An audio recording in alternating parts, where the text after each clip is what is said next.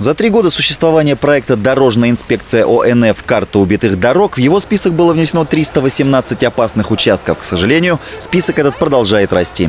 Общественники провели очередной мониторинг состояния орловских дорог. В поле зрения активистов попали улица Октябрьская, Генерала Родина, переулок Маслозаводской и ряд других. Качество покрытия на них оставляет желать лучшего.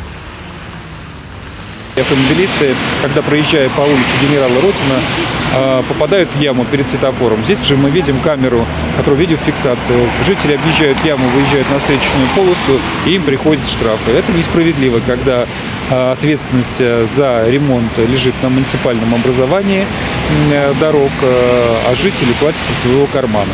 По обращениям общественников 57 участков было отремонтировано капитально, а на 72 проведен ямочный ремонт. О планах дорожной кампании этого года рассказал сити-менеджер Александр Муромский. Если говорить об объемах дорожного ремонта на 2020 год, то они не ниже, чем в прошлом году.